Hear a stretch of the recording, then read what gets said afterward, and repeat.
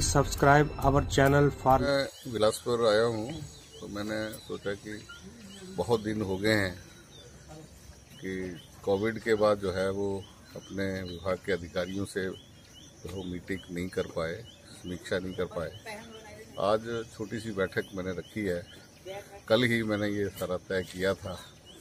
और इसमें हमने 21 अप्रैल के बाद जो है वो ग्रामीण क्षेत्र के अंदर रोज़गार देने के लिए जो है अपनी विकासात्मक जितनी भी गतिविधियाँ थी, हमने उनको शुरू किया है।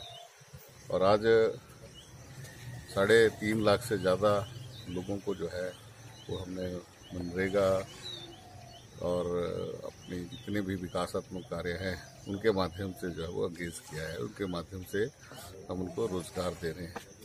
वैसे कार्यकाल में जो है, वो करीब ढाई सौ करोड़ से ज़्यादा की पेमेंट जो है वो सीधे तौर पर जो है उनके खातों में होगा कोविड अपना काम करेगा, सरकार अपना काम